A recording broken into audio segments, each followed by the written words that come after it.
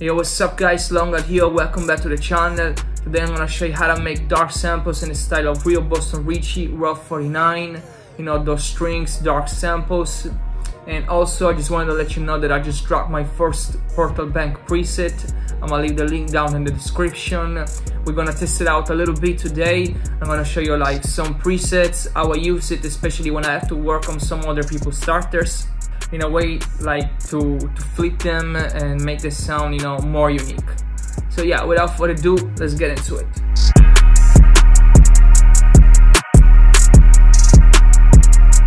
So yeah, this is the sample. I'm gonna let you hear first, then we're gonna hop on the breakdown.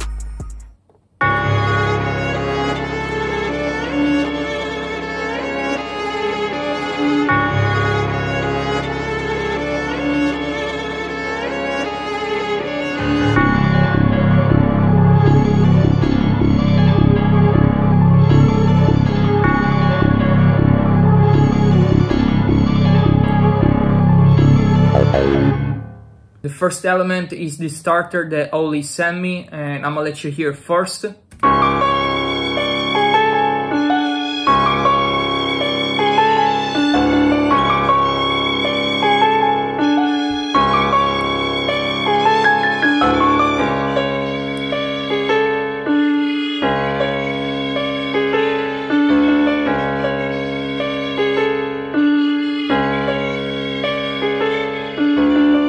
Did here basically is to uh, reverse it, slice up the sample, convert it in a new MIDI track, and I just, you know, play around with my MIDI keyboard, and I came out with this pattern right here. I'm gonna let you hear.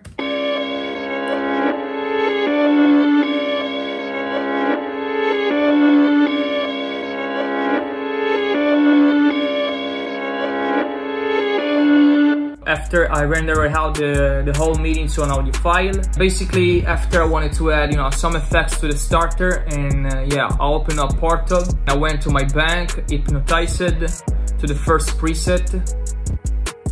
And basically, I just played around with the knobs. Yeah, it already sounds fire. We're gonna record like the whole processed file.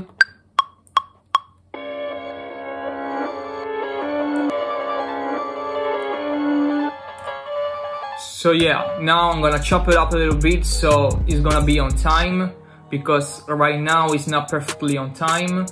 This is like the, the new audio file with the with the starter processed with Portal. I just added like uh, I just added a simple EQ to cut some of the lows and a little bit of the highs. Then I went back to the original starter and I wanted to play around with some more presets from my Portal Bank. And I went to dummy, to the dummy one. I play around with the knobs. Yeah, and I turn into this one.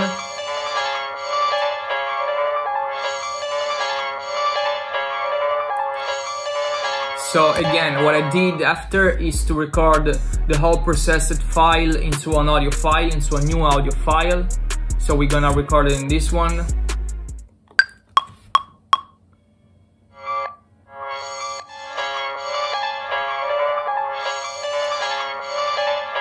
So yeah, I'm gonna chop it up this one as well, so I'm gonna put it on time. Here we are with the new audio file. Like chop it up and put it on time. For the effects, I use like an EQ to cut some of the lows, a little bit of the highs, RC20 to make it sound, you know, uh, more uh, more vintage and cut more of the lows and more of the highs. I used the preset vinyl one. Uh, added some noise, some wobble, some distortion, some space. So yeah, basically after I wanted to play around more with my with the original starter and with my Portal Bank and I went again to my uh, Portal Bank preset and I think I chose like the um, hypnotized preset I play around a little bit yeah pretty sure it was like that and yeah, I decided to record uh, this one into an audio file. So I'm gonna show you.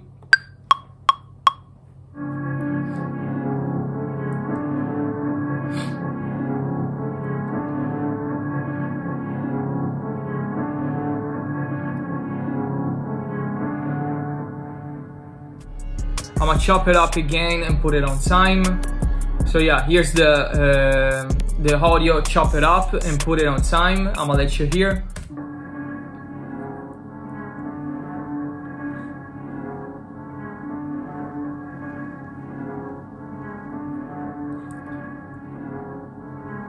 And yeah, for the effects, I added some EQ, I cut some of the lows, some of the highs, RC20, uh, always the vinyl one preset, uh, pretty much the same as the one of before, but I cut more of the of the lows.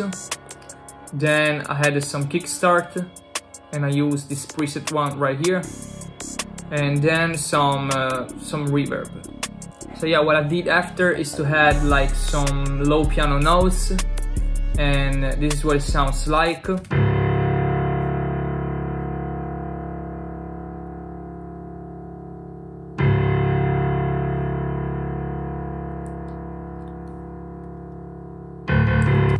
I used Noire Felt from Kontakt, the basic felt preset. I added a neutron. I'm pretty sure that I used like uh, the preset on keys uh, in your face organ.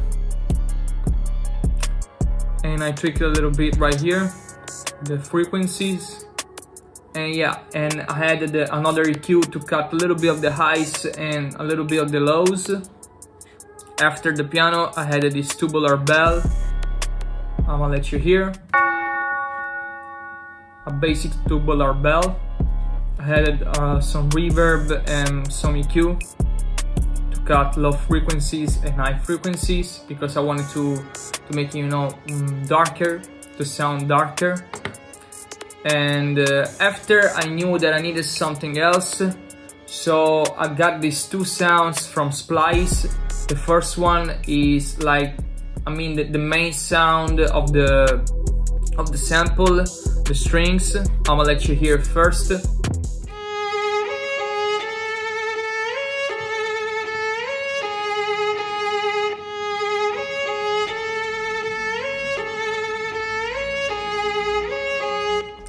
Yeah, I chop it up a little bit and I added some effects, some Valhalla uh, Uh, an EQ to cut a lot of the uh, of the lows, shaper box.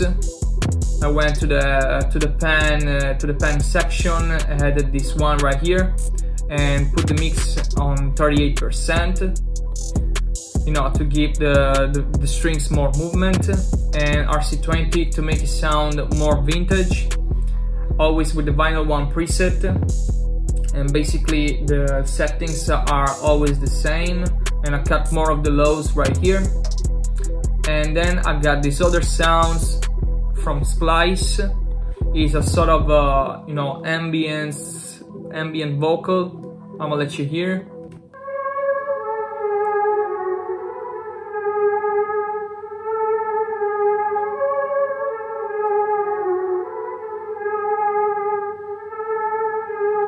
And I put this one on the on the second section of the sample so yeah uh, I had some half time with these settings right here. Without the half time it sounds like this.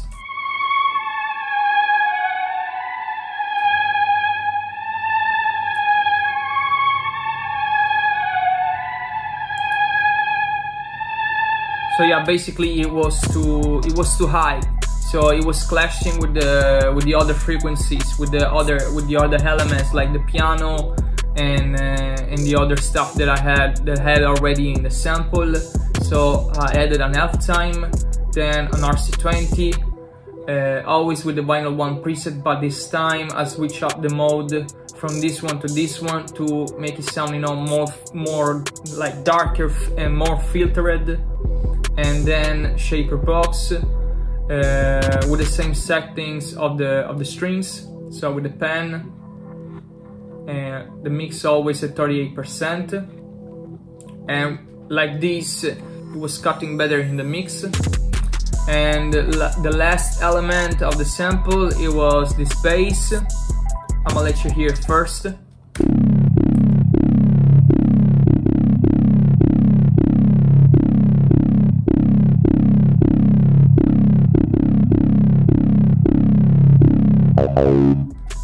So yeah, uh, simple, you know, Detroit type bass. I added a neutron. I boosted up like the, the, the range that goes between the mid and the high frequencies. This is the, the sample basically, and I'm gonna let you hear again.